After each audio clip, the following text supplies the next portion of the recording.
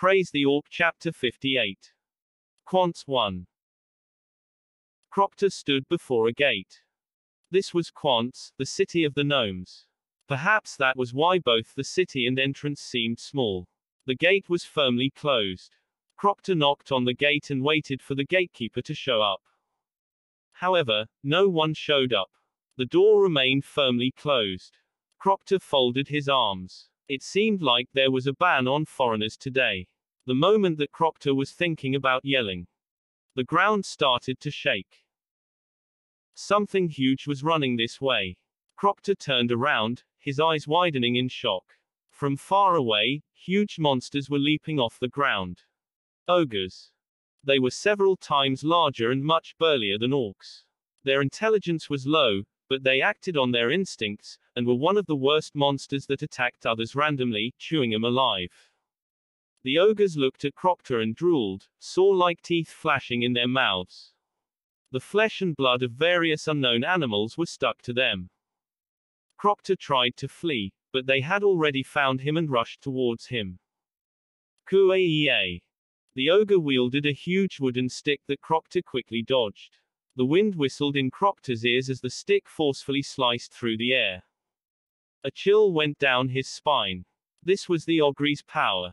He heard the stories, but this was the first time he heard it directly. Damn, Bultar.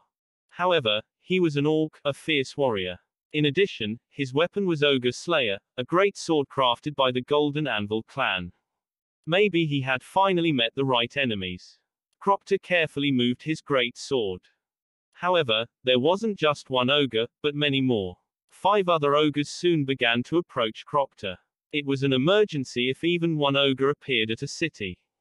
Crocta fell back against the city wall. This. He had forgotten about his rear. As Crocta's eyes widened, the ogres seemed to be smiling at him. Crocta scrambled to raise his great sword and prepared for the worst.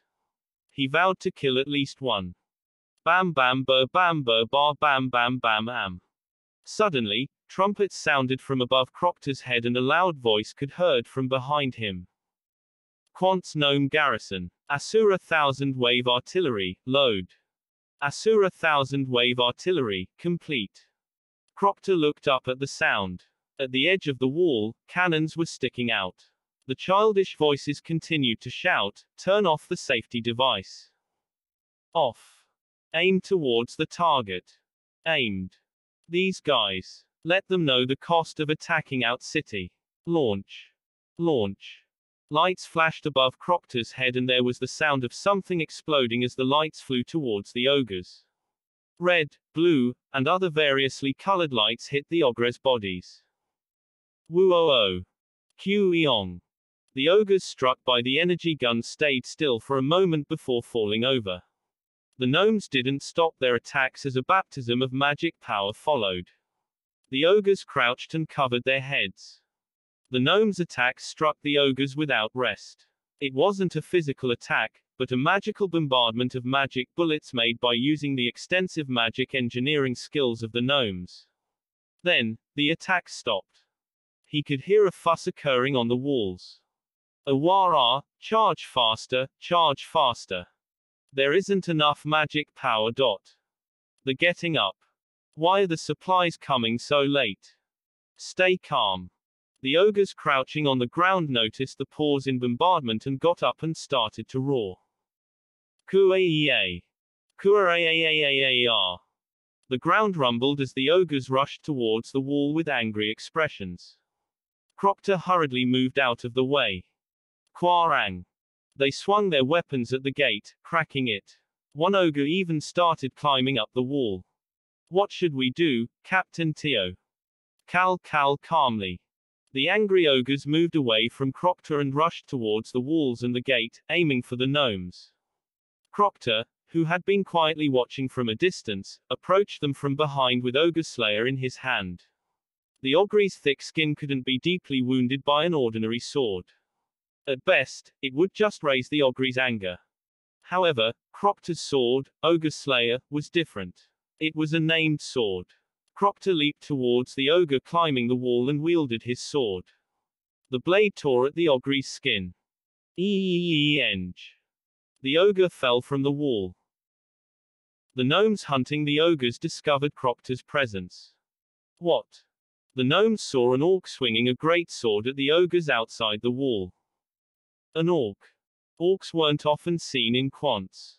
Furthermore, it was the first time they had ever seen an orc fight against an ogre alone. The ogre backed away every time the orc's sword flashed. Dazzling swordsmanship.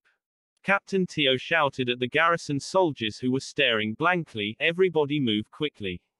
It's impossible for an orc alone. Yep. This will give us enough time. Dot. The gnomes on the wall hurriedly charged their magic power. Captain Tio looked down with sober eyes. Out of the five ogres, the orc was completely marking one. The rest of them were attacking the gate, or climbing up the other walls. Um. It was dangerous. In particular, the gate was on the verge of crumbling. At that moment. Baltar RR. The orc escaped from the ogre he was attacking and ran towards the one striking the gate. He swung the great sword at one of the ogre's legs. Kyo Orc. The ogre staggered and turned a pair of furious eyes towards the orc. The orc shouted, Come. Don't run or hide. Ooh oh oh oh ooh. Kuo oh, oh oh oh. Two ogres rushed towards the orc. The orc started running away after receiving their attention. His movements were swift but there was a limit. The ogre's stick hit the orc's great sword. Ugh. The orc blocked it with his great sword, but his body flew through the air from the impact. He soon landed and rolled on the ground. The ogre's stick aimed towards the orc again, who rolled to avoid it. Tio started sweating as he watched the battle. The orc continued to attack the ogres with dangerous movements. Without the orc, the ogres would have climbed up the walls and killed the gnomes by now. A great warrior. Captain Tio shouted, Ready. Yep. It is ready. The preparations are complete. The Quant's gnomes soldiers replied. Tio also inserted magic power into the rifle on his shoulders. His weapon, the magic rifle, General, was an ancient legacy that was classified as an artifact. Tio aimed for an ogre's head. Save the orc. Power aim. Aim. Launch. Before long, the colorful magic power of the gnomes sparked again. The red and blue magic bullets hit the ogres, who lost their balance and fell to the ground. Ooh oh oh oh ooh. Crocta looked up. A small gnome holding a rifle was staring at him from the wall. He pointed at the ogre and lifted his thumb and then turned it upside down. It was an obvious signal. Crocta nodded and firmly grasped his great sword, Ogre Slayer. The ogres were still curled up as magic bullets continued to fall onto their bodies. It was time to end them once and for all. There was no need to give them a good send off to the afterlife.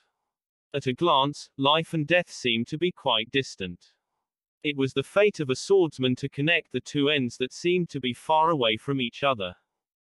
The ogre slayer broke the neck of the defenseless ogres. Two ogres died in quick succession. The rest of the group was still attached to the walls. Their expressions changed as they saw that the situation was suddenly changing. The ogres' disgusting faces seemed more demon-like.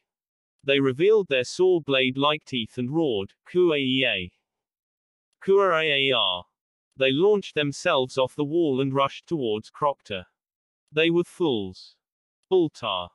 Crocta raised his great sword. Running away from the walls just made them better targets for the gnome's magic power.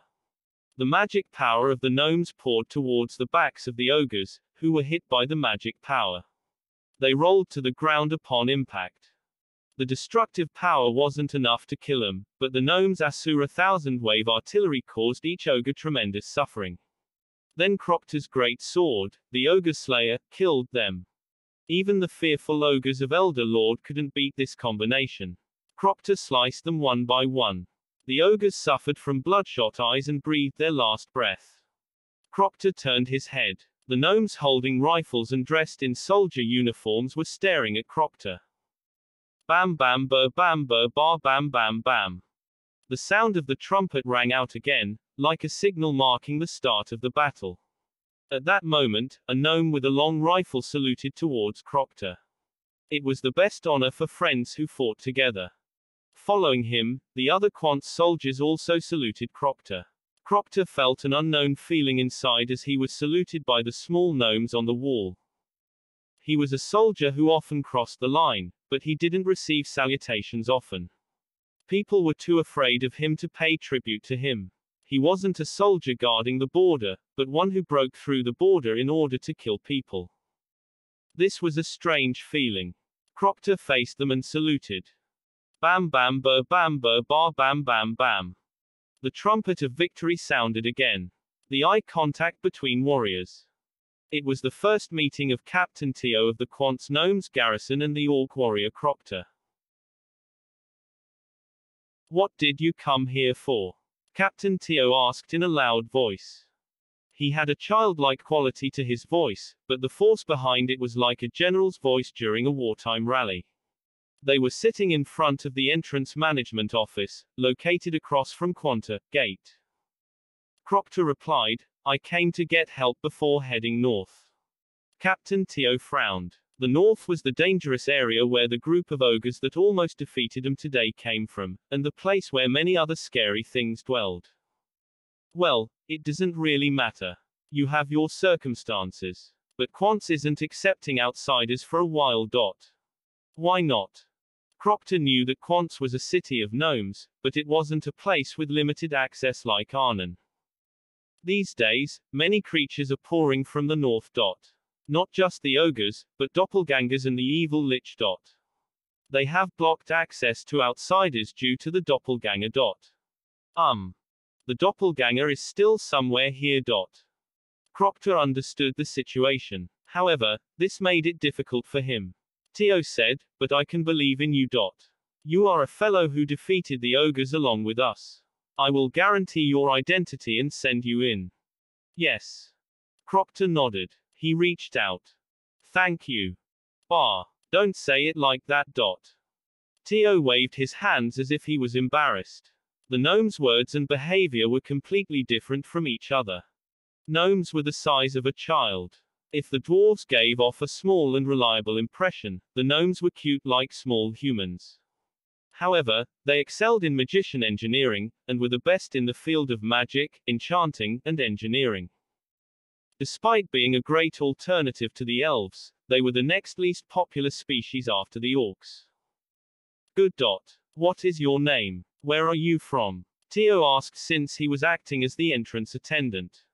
My name is Crocta. I became a warrior at Orcrox Fortress, and am currently heading to the north. Tio's eyes widened. Crocta. Honorable Orc Crocta. Crocta's shoulders went up. Hum hum, some people call me that. Cool cool cool. Oh, glorious. Tio stood up excitedly before sitting down again. His response made it seem like he was trying not to lose his dignity. Who, hum hum, in any case, you use a big sword, and have tattoos all over your body, so you fit the description of Crocta. The bravery you showed today also fits with Crocta. Dot. Welcome to Quantes. Thus, Crocta was allowed access to Quantes. But you should be careful. Right now, the public sentiment in Quantes isn't good. Recently, a doppelganger has committed a series of murders. In particular, you are a scary orc so. It's okay. Did you say you came to Quantes before going to the north? Crocta nodded. The north. There are students studying the north, so it would be good if you visited the academy. Tio said. His tone was grim and sober, but he had a child's voice, so Crocta couldn't help smiling. Tio noticed and frowned. An oversized orc shouldn't ignore gnomes. Gnomes are very clever, wise, and powerful. I know. Your magic power is really great. Him him. It is natural. We are proud of our gnomes. Key kick. Tio was in a good mood and laughed loudly. Crocta, I will authorize your access. Thank you, Tio. He left the administration office with Tio. The city of the gnomes was small and charming, but everything was organized. Unlike other cities, the streets were blocked and arranged regularly in a modern configuration. Hum hum. Crocta. When I saw your salute before, your posture was quite excellent. Dot. Do you have any military experience? Crocta laughed. I once served. Ho, I see. You were a soldier. Tio's eyes lit up. I have agreed to drink with the squad members who defeated the ogres. Crocta contributed as well, so you should go with me. Alcohol. No man could refuse. Thus, Crocta wandered the streets with the gnome captain Tio.